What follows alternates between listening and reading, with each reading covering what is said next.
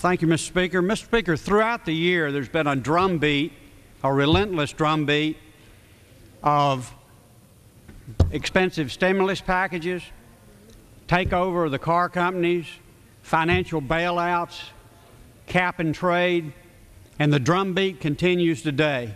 More government control, more government spending, higher taxes, fewer choices, especially for small business.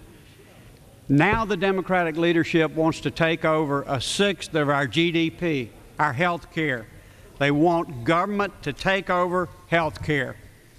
It's a recipe for economic disaster. Even worse, it's a disaster for patients because a government run system will always ration care, reduce quality, and raise cost. It'll put a federal bureaucrat between you and your doctor. Let's put patients, not the government, first. As long as we continue this government knows best approach, we're not going to get health care reform or the kind of economic recovery the American people need. We'll only get bigger government, rationing, and diminished quality of care. Stop the drumbeat of more government. Stop the takeover of Time government health care.